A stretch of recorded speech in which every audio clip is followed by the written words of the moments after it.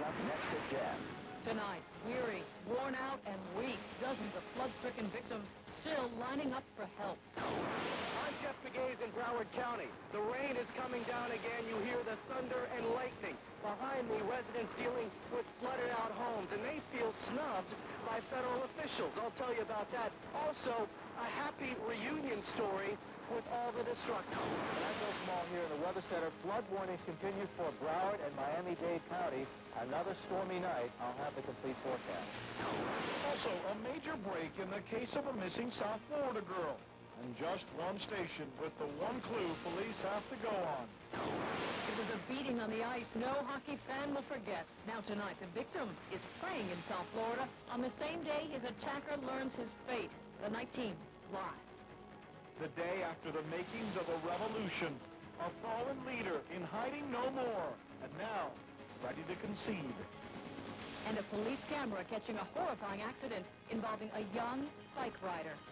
I'm Lori Jennings. And I'm Rick Sanchez. We're going to have these stories and a lot more on this Friday night edition of 7 News First in Town. Now, live from the news station. This is 7 News at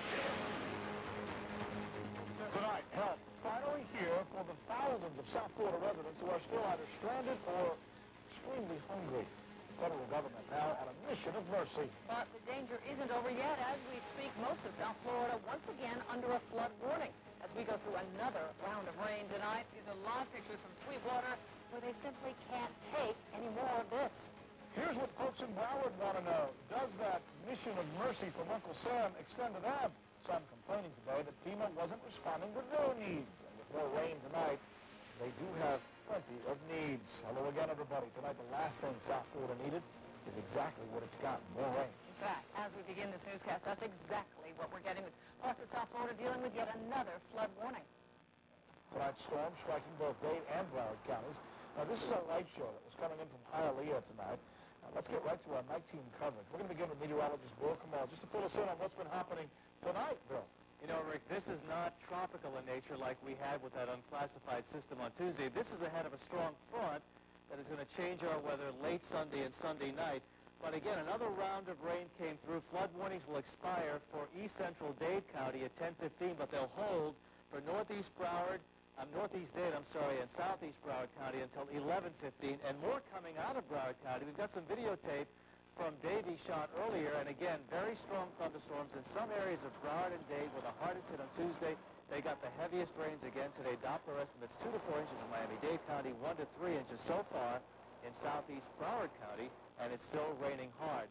Now, the wider Doppler view, and I want to show you what came out of parts of south central Florida toward us, and that area is sinking to the south and east. Go back to source 2, and I want to show you this. Now, this area is coming out of the, uh, can we go to the other source, source number 2? Thank you. And this area coming out of southeast Florida now, the heaviest activity heading into the Atlantic Ocean. These storms will be dying down, but not before. More rains come in this evening, but the actual front is still well up to our north, and the temperatures behind the front cooling off rather dramatically, and it will be a tale of two seasons this weekend. Hot, humid air tomorrow, and then more rain with the front, and it could be some rain on Sunday, then getting windy and cooler. The complete forecast in a few minutes.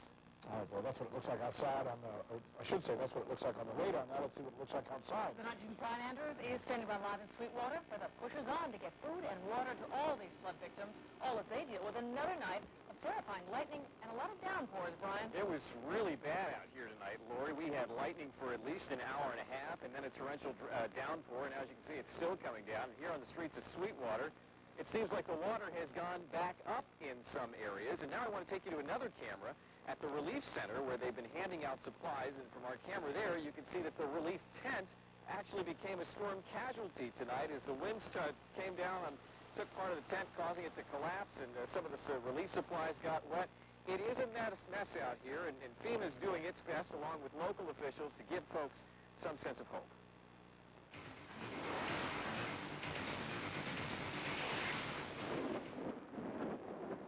Night sky opening up, unleashing more rain on areas of Miami-Dade still dealing with floodwaters. Water pumps operating at full capacity, moving thousands of gallons of flood water into the sewer system and out into Biscayne Bay. Miami-Dade police still have many streets blocked off as they keep an eye on the fluctuating water levels. Out in this mess, the National Guard ferrying Miami-Dade Fire Rescue and police into flooded neighborhoods where they're checking on everyone's well-being. Hi, how you doing? Wearing hip waders, the fire rescue and police officers go door to door in a driving rain. Are you okay? Trying to stop sign and make it rain. There is a lot of wet ground to cover. The city of West Miami hit hard as well. Floodwaters still high, cars going nowhere, most roads still blocked off. The best way to get around this mess on a bulldozer. This ride courtesy of the chief of police. We, we've been through several hurricanes and storms, but this is the worst. And it's very devastating to, these are our, our family, and it hurts.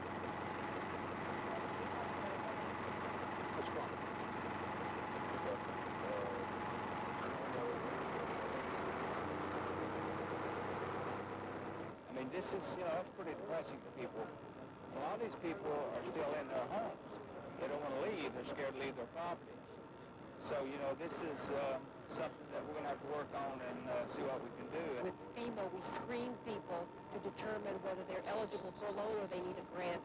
The grants will cover damage to your home, to your apartment, loss of personal property, uh, as well as businesses, big and small. So uh, very low interest loans, 4% or less, long-term, 30 years, uh, and it could go to 200000 just to replace your home. And back in Sweetwater now with live pictures from 109th Avenue and 4th Street, very close to City Hall, which is flooded out as well. Again, the hope that the people here in this community have is going to be coming from FEMA. Again, as you heard in our story tonight, there is a lot of federal money that's available, and if you need that federal money, you need to get on the phone to that special 800 number that we've been showing you all day long, that we'll again show you during this newscast to FEMA, so they can talk to you and figure out how to assess and meet your needs. Live in Sweetwater, Brian Andrews, 7 News, 19. And from you, Brian, we head north now to the night team's Jeff Pegues in Pembroke Park. Yeah, residents there wondering tonight why the federal government hasn't responded to their needs the way they did in Dade. Jeff? Well, the federal government has. FEMA will provide aid to these residents here, residents who are, as you can see behind me, flooded out as well. However, residents have been watching the pictures of FEMA officials touring Miami-Dade County, and they're wondering why those officials haven't toured Broward County, Pembroke Park, where we are tonight. However, they have gotten a lot of help from the Red Cross, and that itself has turned into a happy reunion for two people. It is nightfall at this Broward trailer park, and some residents are doing major repair work to their homes. The plywood will be this woman's floor. Both bedrooms, the floor sunk, so we have to change the whole flooring. So we're, we're, what they had was compensated wood, and when it gets wet, it soaks and explodes. So all the furniture sunk. This isn't the first time floodwaters have caused some of the floors around here to collapse. It happened last year, too. We're the only neighborhood that gets stuck with all this water, and every year, and it's getting worse and worse, and I don't understand it. I don't know why anyone, do, why somebody doesn't do something about it. For now, residents are relying on help from volunteers from both Navy and Coast Guard vessels participating in Fleet Week. This is an opportunity to help people. I mean, well, I'm in the Coast Guard. That's what, that's what we do. Also, the Red Cross is delivering supplies. But in the case of Margaret Brenner and Flo Tabor Brown, they are delivering something more. We've had a great couple of days. Flo was going door to door with the Red Cross when she came across Margaret, a flood victim. This lady says, is this your trailer over here? And I said, yes. She says, Brenner, it's a name, huh? I said, yes. She says, my mother's maiden name was Brenner. I said, you're kidding. And I started to ask her where she was from, but she asked me first where I was from. I said, Newcastle, Pennsylvania. And I said, well, gee, do you know Kelly Brenner? And she said, she's my sister, and uh, she's my mother's cousin. That makes us cousins. So that's how the whole story happened. I, I couldn't believe it. I couldn't What's the chances of that happening? You know, to me, that's like a modern-day miracle. A miracle reunion for two long-lost cousins. It is a bright spot in an ordeal that for so many here has been bleak. That was the good news. It's raining again here, and it's raining hard. We're soaked standing out here. And it's raining as they keep pumping the water out. Everyone here is hoping for some good news. We're live in Pembroke Park. Jeff Pegues, 7 News 19. All right, Jeff, we'll certainly get back to you if we need to. And the flood of trouble still having a major effect on schools. Got thousands of students. Go ahead, They Lorraine. can still cannot return to class at this point because of the flooding and all the standing water. And it doesn't look like the game plan is quite together yet for next week. We can tell you, though, school officials are hoping to have all public schools up and running by Tuesday. As you know, Monday, public schools are closed anyway for Columbus Day. That'll give them one more day to get busy. Stay tuned over the weekend for the final word on that. And a warning for beachgoers tonight. The Florida Department of Health advising people to stay out of the water along some Biscayne Bay beaches. Test results are confirming at this point that Windsurfer, north and south, as well as Hobie Beach, have increased levels of bacteria due to sewage runoff from all of this week's flooding. There is a major clue tonight in the case of a missing South Florida teen who vanished without a trace over the weekend. A friend discovering the 18-year-old's car outside a sports bar, and tonight her father is reacting to the news. My team's Charles Belay is working the story for us from Tamarac. Charles? Rick, this is a huge piece of the puzzle for police, and this girl's family is actually crediting the public with its discovery. But despite the fact that the car has been found, the community continues tonight to rally around this family. It's a big question for police. Could a business in this Tamarac shopping center be the linchpin in the disappearance of 18-year-old Colleen Paris? Friday afternoon, detectives finding Paris's white Mazda abandoned in the parking lot, and it could provide detectives with clues. From what I understand, there's a lot of a lot of personal items in the car, so hopefully, once we look at those after it's processed, we can come up with some sort of a clue as to where she could have possibly gone or to, as to her whereabouts. Paris disappearing last Saturday afternoon. Father Nick and Mother Nancy immediately printing flyers and going house to house distributing their daughter's picture, asking for information. And today, they got it. I mean, it's one of the things we've, we've been having the flyers. We've been trying to find her in the car, obviously. Finding the car gives us at least a head start now. But Colleen's father has no idea why the car would be abandoned, but does admit Colleen's love of sports may explain why she visited the shopping center. What her friends told me uh, was that there's a sports bar there with uh, pool tables and, and darts. And that's something my daughter uh, has a passion for. This woman works nearby the Paris family postal and shipping business and did Colleen's nails the day before she disappeared. Oh, how did she, how did she miss him so fast? You know, it's like Friday I'm touching her, and the next day she's, she's gone and no one knows where she's at. Yeah, I've been trying to get in touch with you. Dave Girardi does business with Colleen's father and donated $1,000 in reward money for information in the case and is asking others to join the effort.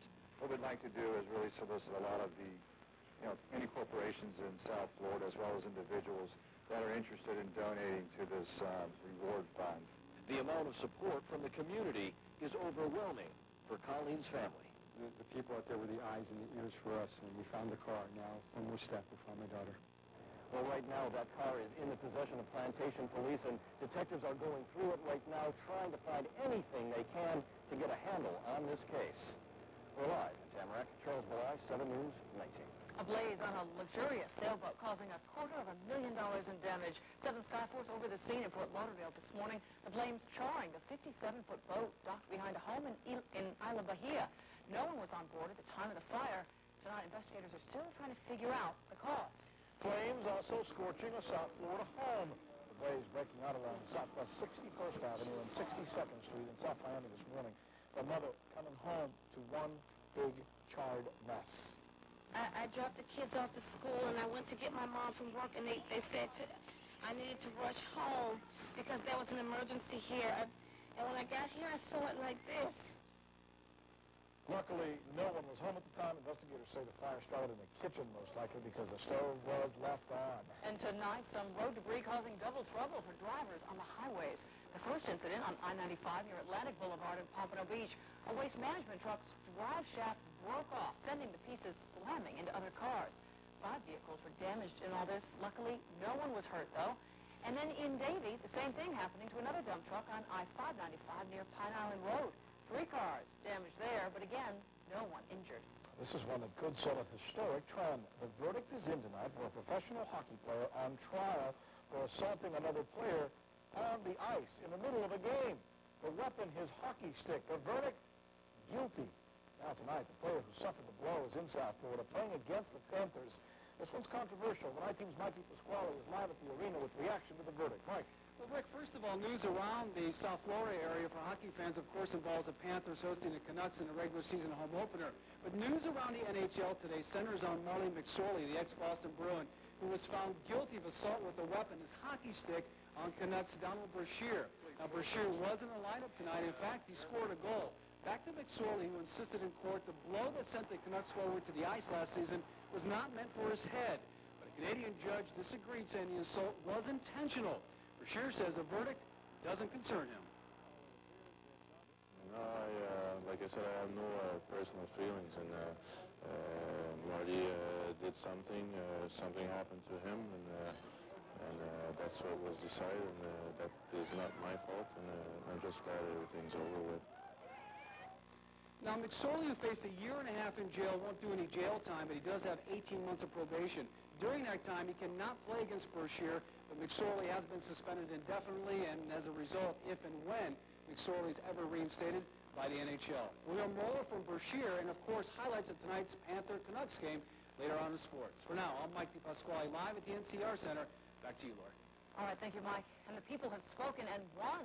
All the riots we showed you yesterday in the streets of Yugoslavia's capital giving way to celebration tonight after the country's president concedes defeat on state TV. The night team's Holly Herbert is live at the Satellite Center now with all the details. Holly? Well, Lori, it is all over for Slobodan Milosevic, who has tonight admitted defeat in last month's election. The concession had President Clinton vowing to quickly work to lift sanctions against Yugoslavia. That is, until Milosevic stated he wasn't going far. I wish to all citizens of Yugoslavia a lot of success. Slobodan Milosevic says goodbye to the people of Yugoslavia during a televised address Friday night.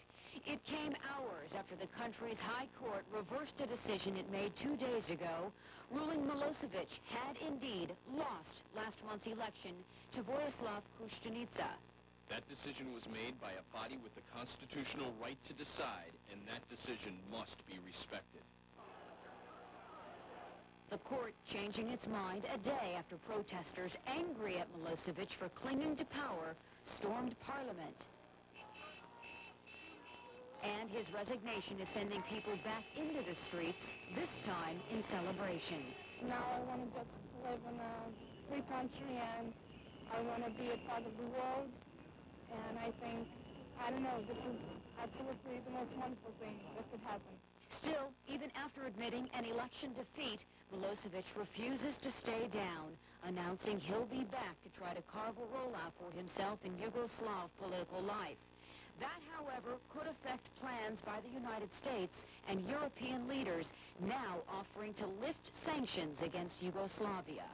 I think it would be a terrible mistake for him to remain active in the political life of the country. That is not what the people voted for. The president is also calling for Milosevic to face war crimes charges, although one U.S. official says the administration is choosing its words carefully, hoping not to create problems for the opposition. So there are plenty of details left to be played out. Milosevic's future is still unclear. The people of Yugoslavia tonight, though, are rejoicing his reign is over. President-elect Kostunica is expected to be sworn in tomorrow. Live in the Satellite Center, Holly Herbert, 7 News 19. Let's take it out of the other trouble spot in the world. Mayhem continues breaking out in the Middle East, where several Palestinian groups have declared today as a, quote, day of rage. In Jerusalem, Israeli police clashing with Palestinians at the Temple Mount. Leaders from both sides ordering their military forces to separate at several hotspots in the confrontation. Nine days of violence have left more than 70 people dead already, most of them Palestinians. And just in off the satellites, an, uh, an Aeromexico plane attempting to land in Reynosa, Mexico turns deadly. This is right near the Texas border. Officials say the plane apparently overshot the runway, slamming into two homes and then nosediving into a canal. The woman and her three children inside one of those homes were all killed. Five people were injured, including a flight attendant. We're told no one aboard the plane was killed. Officials say pilots lost contact with the control tower shortly before that crash. Other stories that we will bring in about from the night team strong currents, leaving three boys in serious danger, and the rescue is just as dangerous. You will see it all. I'm Lynn Martinez uh, live in the 7 Newsplex. A police officer responding to a call slamming into a teenager riding his bike. Could this tragedy have been avoided? The story coming up. A violent earthquake jolting Japan, the damage extensive, and the pictures frightening. We'll have it all for you. A wreck on the rails in the coastal Florida city now being called a case of sabotage. Also ahead, a very special football fan with a lifelong dream. So will it come true this weekend? And a South Beach chef serving up quesadillas. This is not your average quesadilla, folks. Get ready for a bite with wealth before the big show comes back at you.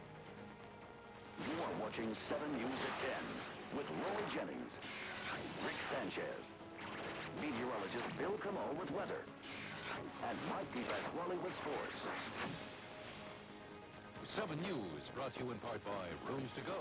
Decorate with one simple decision for less than you ever thought possible. Monday on 7 News. They eat candy, popcorn, and cookies. But how can you make sure your child gets the nutrition they need? A daily dose of vitamins could be the answer. So which ones are right for your child? We'll get the vital facts on vitamins in Kids and Vitamins. Plus, they have a piece of political history, memories of a popular president. That is John Kennedy's signature. So how much is their presidential property worth? Find out in Trash or Treasure, Monday starting first at 5 on 7 News. Closed caption brought to you in part by City Furniture, the ultimate furniture store.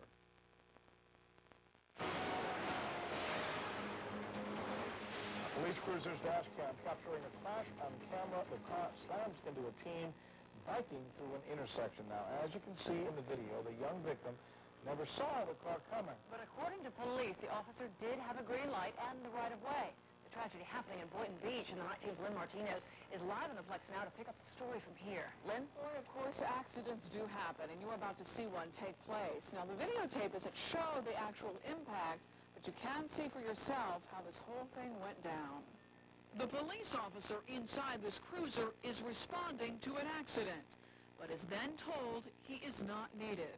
Does a U-turn on Federal Highway to travel north about the 900 block of uh, South Federal Highway and heads north up to Northeast 26th Ave where the alarm an open door has been discovered at the temple. As the officer approaches the intersection at Boynton Beach Boulevard, the light is green. The officer says, though, his vision is obstructed by cars in the turning lanes. With the green light, he drives through the intersection. That's when a 13-year-old boy on a bicycle suddenly is right in front of him. The car hits the boy. The boy hits the windshield and is thrown from the car and hits a bus bench before hitting the ground. Police are not saying who may be at fault, but the officer clearly does have the right-of-way. Well, we've confirmed our earlier, our initial review that showed that the officer was traveling northbound through the intersection of North Federal Highway and Boynton Beach Boulevard through a green light. Even though the officer had the green light, he was driving 10 miles over the speed limit, and his lights and siren may or may not have been on. I don't have a specific policy that states when you respond to type A call, type B call, type C call, you'll respond lights, lights and siren. Um, he has a he has the right of the way in the intersection, so he's proceeding through the intersection as any one of us would. So again, there seem to have been several mistakes. The officer was speeding and the bicyclist crossed when he shouldn't have and was not wearing a helmet. The bicyclist remains in serious condition. In the Newsplex, Lynn Martinez, 7 News, 19. And from the Boynton Beach accident there to Miami Beach, we have breaking news now of a car accident that was also caught on camera. Yeah, this one just coming in. Holly Herbert's got information on it. What do you know, Holly? Well, uh, we are just getting this one in. Apparently, a, a paparazzi uh, photographer caught this uh, all on camera. Uh, it all happened on South Beach today when uh, the Latin uh, pop star Chayanne was apparently coming out of um, some building and going into a limo when a car loses control on Washington Avenue, hits a light pole, then another car, and then lands in a construction site after going through a fence. All of this caught on camera. The good thing is, is that uh, nobody was hurt in all this. It's uh, not exactly clear what role uh, the uh, Latin pop star played in all this. I don't think anything. I was thinking possibly maybe the driver was, uh, you know, had uh, diverted the attention. But um, the good thing in all of this is that nobody was hurt. That's it from the news desk. All right, some pretty amazing pictures. We thank you, Holly. Meanwhile, tonight, Detectives say that a wreck on the rails in South Florida was sabotage, and they're now offering a reward to find out who was behind it. The U.S. sugar train slamming into several parked railroad cars in Belle Glade last week after being diverted to a sidetrack. Company is now offering a $20,000 reward to find out who's responsible. The estimated damage, nearly a million dollars. Three boys in Indiana in desperate need of help after strong currents pulled a raft in every direction. Rescuers trying to get the boys out of the water when they suddenly fell in. Crews then throwing the teens a rope and managing to pull them to safety. Luckily, all did escape unharmed. Wow. Other stories that we're going to be following for you on this night, a violent earthquake. Look at these pictures where it strikes the dam. It's found landslides and demolishes several homes. Also, a South Florida youngster and big-time football fan hoping to live out his dream. That story is ahead.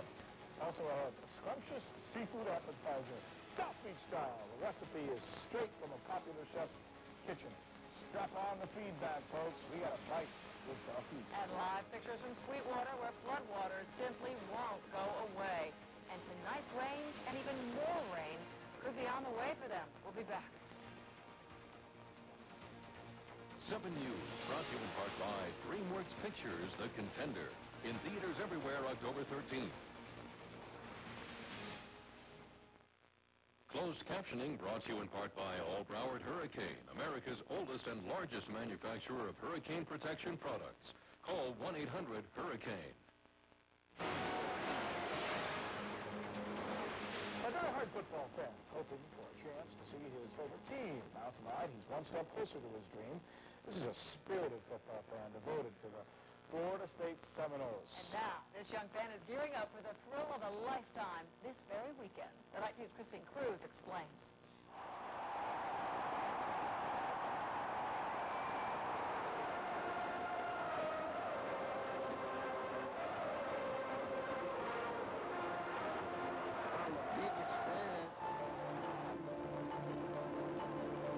Meet A.J. Jones. He wasn't expecting us on this morning, but when 7 News showed up, he was wearing his Florida State jersey. Nothing staged about this fan. He's the real thing. I always liked the Florida State when I was a little boy. At 14, A.J. is also a quadriplegic. He was riding a bicycle in North Florida and got hit by um, a truck. It happened in Tallahassee nearly four years ago. The spunky little boy seen here striking a pose for the camera would never walk again. The accident leaving him paralyzed from the neck down. Yeah, take away seven. yeah, so with the N, take away seven, N minus seven. AJ can't go to school. School comes to him by way of a conference call with a teacher and several other physically challenged students. Okay, number 47, which one? Despite all he's been through, AJ still has spirit, especially when it comes to football and his favorite team. He's had photo ops with some of his favorite players at the hospital. He even has a football signed by FSU coach Bobby Bowden. He got it for Christmas last year. But what he's never had I've never got to go to the games, but I watch all these games. I know his um, biggest dream would be to meet some of the teammates, the team players, and um, Coach Bobby Bowden. Just a couple of days after our first interview with AJ, we dropped by again, this time with some good news. I have something here actually for you from the University of Miami. I'm gonna open it for you, okay? All right. You got a couple of tickets to the game this Saturday. What do you think? Look at that flag. So after all he's been through, AJ finally catches a break. Now I'm at the game. It'll be a dream to me. Like a dream come true to me, Bobby Bob. He's still a die-hard FSU fan. Who is gonna win Saturday's game? Um, I'm going with Florida State. But he will admit by donating these tickets, the Hurricanes have scored, even in his book. So, yeah, just to say thank you and let's see. if they want to play on my team, I'll, I'll root for 'em. if they weren't playing your favorite team, you'd be cheering for them, huh? In Carroll City, I'm Christine Cruz, 7 News. Gotta like the spunk, huh? Oh, yeah. We will see you at the game, AJ. Hmm. Meanwhile, tonight, we're following a development story. We just got information on this one. Another one, boy, it seems to happen a lot on Friday nights around here. A train and a car collide. This one's an accident on northwest Miami-Dade. We're following it for you. Also ahead, an island nation jolted by a powerful earthquake, one of the strongest in years. We'll have the frightening scenes coming in off the satellites. Daredevil pilots flying low for a chance at aviation history. The pictures are coming up. And one of the most celebrated chefs on South Beach sharing his secret for one pretty awesome appetizer. Now you can make it too as we sit down for our bite with Belkys. 7 News brought to you in part by Holman Lincoln Mercury. Same family ownership for 76 years. And by Baer's for the best quality furniture and interior design. Tomorrow on the Saturday edition of Today in Florida, find out how you can hook up to a new Fox show online. It all starts at 6 o'clock. Join us.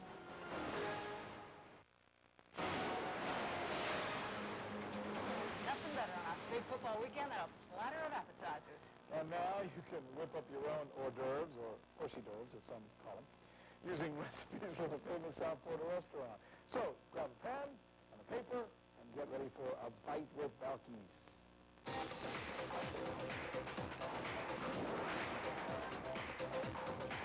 The chef, Alex Bruger, from Ocean Drive's famous Mango's Tropical Cafe. The meal, blackened lobster quesadillas with fresh mango salsa and Cayman rock shrimp fritters. So this is kind of a little appetizer action, little party. Something like that. Something you can make at home 30 minutes or less and find in any grocery store anywhere. The steps. Slice your lobster tail in half and take out the meat. Then slice the tail to open it up as much as possible. Add your blackening seasoning. If you don't have it, you can make your own. You can take several of your favorite herbs and spices. You can have uh, ginger, turmeric, paprika, chili powder, whatever you might, uh, whatever you might like. Saute the lobster in a pan, then add your diced green peppers, red peppers, yellow peppers, red onions, and scallions. While the lobster and the vegetables cook, heat up your tortilla in a separate pan and add cheese on top. Obviously, don't, don't be cheap with your cheese, right? Then deglaze the lobster vegetable pan with some white wine and the juice from half a lime. Remove the tortilla from the pan, slice your lobster, and place the meat in the middle. Put your veggies on top, fold the tortilla over, cut it into slices, place it on a dish, and serve it with a fresh mango salsa. One appetizer down, one to go. For your Cayman rock shrimp fritters, make your batter by combining flour, baking soda, sugar, one egg, milk or buttermilk, the rock shrimp, celery, scallions, garlic, red pepper, and chopped jalapenos. Mix it up, then use an ice cream scooper to drop the batter into the oil. The batter will fall to the bottom, then rise to the top when it's ready. Chef Alex lets the fritters drain on a paper towel. He garnishes a plate, then serves them with some cocktail sauce on the side. Now, the next time someone asks who catered your party, you tell them you did. Beautiful food. You know, you don't have to use lobster for the quesadillas. You can use crab meat, you can use shrimp, even chicken if you like. And for the fritters, you can use conch, you can use calamari. You've got all kinds of options, darling. All of those options are listed at www.wsvn.com. You know that's where you can get the recipe if you have the computer. If you don't, you can still get it by sending in a self-addressed stamped envelope to the address there on your screen, and we'll make sure to get those recipes out to you so you can get started in the kitchen. Bon appetit, everybody. I'm Belkys Nerey, 7 News, Night Team.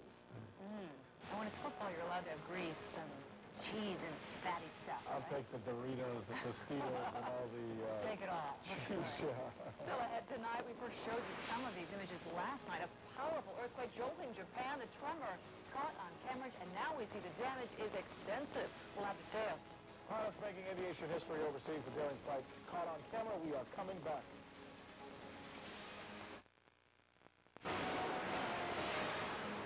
Tonight, parts of Japan still reeling after a major earthquake strikes that happened in the southwestern part of the country, injuring nearly 28 people. Officials calling it the strongest tremor there in five years. Several homes, skyscrapers, and businesses all shattered by the 7.3 tremor, and a lot of places left without electricity. Tremor also triggering several landslides. Also, it's not a daring mission making aviation history. Six pilots fly their homemade planes under a 20-foot bridge. The pilots approach the small arch with more than uh, 45 miles per hour, and there they go. Right underneath, no problem. Ow. They took just half a second to fly under it. Any more, and we would have seen an accident. The flights took place in China as part of a 2000 Air Sports Federation World Grand Prix of Aviation. Boy, that's a mouthful. Now, time for 7 weather with Bill Kamal. Well, 7 Storm Scan taking you into Broward County in the same areas that got such heavy rains on Tuesday. Hallandale, down to Aventura, North Miami Beach, and just north of Bal Harbour. This is the heaviest cell right now. Everything is moving off to the south and to the east, but there's more moderate rain. Here's Doppler radar now, and I'll show you that we do have a little bit more to come. These reds and yellows up around parts of southeast Broward County still coming in on this northwest airflow from northwest to southeast. What we had actually is a trough of low pressure develop ahead of a pretty strong front that is going to be making its way through Florida over the next couple of days, so over this weekend. And the big rains from the actual front now over North Florida and the thunderstorms that developed ahead of it today causing all these problems. More to come tomorrow. 50s and 60s behind the front. We will have another hot, humid day from Orlando to Miami and Key West with sunshine giving way to storms along and near the frontal boundary. Then the front may take much of Sunday to go through, but when it does, the winds will start increasing out of the northeast, and the winds are going to be the factor as this cold Arctic air plunges southward, tapping some of the moisture left over from Keith across the Gulf Coast. And by Sunday night and Monday Columbus Day, windy, noticeably cooler, and unsettled. So my forecast for the weekend, it's a split decision for tonight.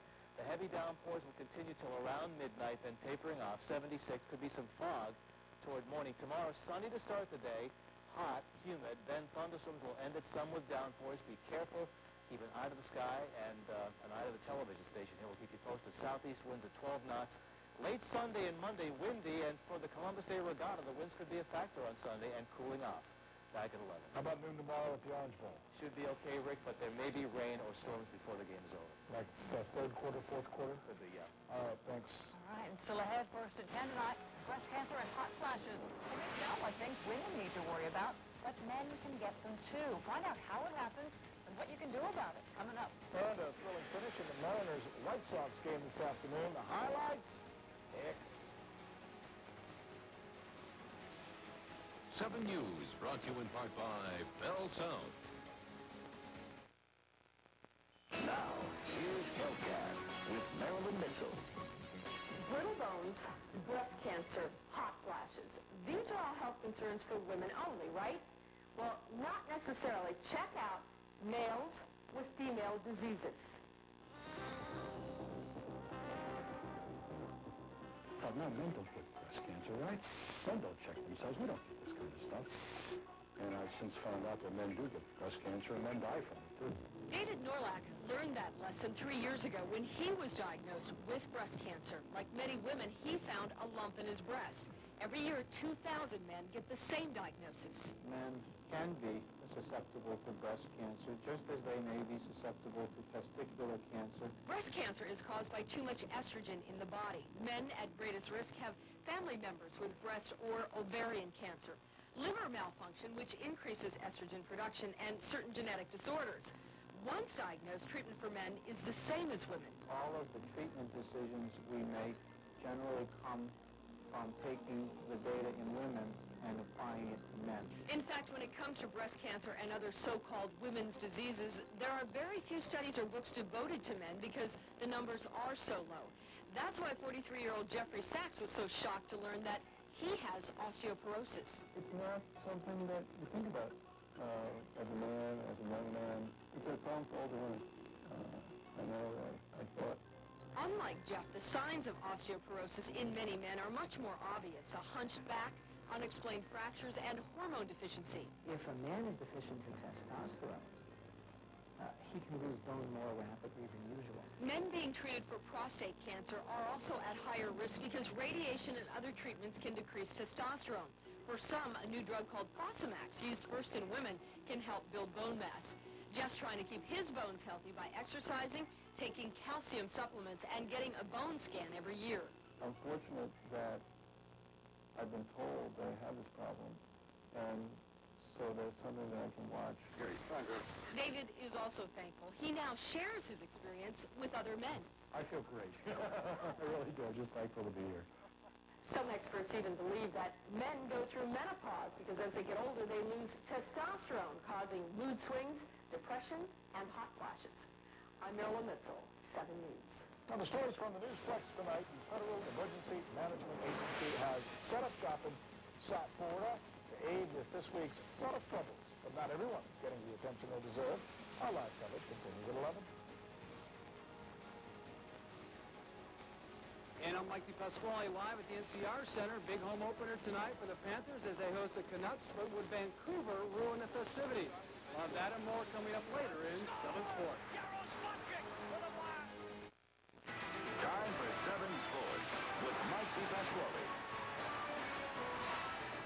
Mike DePasquale live at the NCR Center. Tonight a big season home opener for the Panthers against the Vancouver Canucks. And remember that trade where Ed Jovanovski, then a Panther, went to Vancouver so we could get Pavel Bure? Well, both players factored in this one this evening. Stanley C. Panther making a grand entrance for tonight's big game. It's 2-1 Canucks in the first and so much attention on Donald Brashear this evening. He beats Trevor Kidd, making it 3-0 Vancouver. Second period, Pavel Bure with six goals in the preseason takes off with the assist from Igor Larionov. It's still 3-1 after two. Third period, Cats on the power play. Bure denied, but there's Larionov pouncing on the loose puck, scoring his first as a Panther. Bure assists 3-2 Canucks. Same score less than five minutes later, Cats another power play. And Jaroslav Spacek gets a slapper, tied it at three. We go to OT. Back to haunt his former teammates. Jovanovski with the backhand. Canucks win 4-3. Here's a reaction from Jovo scoring the game winner. The puck was kept in, and I don't know how the puck, uh, some, I don't know if it was a pass or, or a shot, but um, I was looking for Bure. I know Bure was kind of hanging out top there, and the puck came loose, and I just raced to it. And, um, and you know what? If I can try that move again, I probably wouldn't be able to do it. I think we were happy we showed some character in coming back, but uh, and then kind of almost the hook again in uh, overtime. But uh, I guess when you wake up, into, up in the morning, uh, still have one point is uh, better than that. We got to get off to a better start going against that's for sure. News around the NHL today centered on ex-Boston Bruin Marty McSorley found guilty of assault with a weapon, his hockey stick, on Canucks Donald Brashear last season. McSorley insisted the blow that sent Brashear to the ice wasn't intentional. The judge disagreed. He didn't give McSorley jail time, but placed him on 18 months probation. Brashear just glad it's all over. Lots of people uh, uh, had uh, thought that it was me suing Marty McSorley, and uh, that's uh, is a bad image uh, for me, and I, I didn't really want to have that image, and I, I didn't really like that. So, I mean, it, I'm, I'm just glad everything's over with. Now, McSorley, who has been placed on probation, as we mentioned, cannot play against Brashear during that probation period. He has been suspended indefinitely by the NHL, and that's if and when he's reinstated by the league. Once again, the Cats uh, lose 4-3. Next up, Boston on Monday night. That'll do it for the NCR Center, and we ship it back to Steve Shapiro. All right, Mike, thank you very much. Huge sports weekend all around. Canes and Noles meet tomorrow, high noon. It's the 44th time they will play. FSU coach Bobby Bowden announcing just this afternoon, injured quarterback Chris Weinke should be ready to go. Canes fans getting ready by smashing anything in Noles Garnet. I think he was a freshman the first time they played. Bobby and the Seminoles, they got to town around noon today. This year, for the first time in eight years, the Canes and Noles meet both ranked in the top 10. Bowden says it's just like old times. You don't even have to look at them to get that. You know, you do look at the ratings. You got number one versus number seven, or number two versus number seven. It's go which pool, poll oh, you look at. That's the way it used to be, you know, so that's that's nut right there. High noon tomorrow. High school feature tonight, Ely and Stranahan. Ely and Green quarterback. Quincy Skinner fakes out a highly skilled photographer. Launches the bomb. Sterling Hicks, nobody near him. Ely leads the game 14-0. First half was all Ely. The big star for Ely, Tyrone Moss. He gets another TD run for Ely. This kid averages 12 yards per carry. Ely led 21-0. The game postponed for Lightning. They'll finish this tomorrow morning. The Heat, they hold an intra-squad scrimmage tonight in Boca Raton, and one of their new stars goes down. No, no, Tim. See, they gave you a new contract. You don't have to.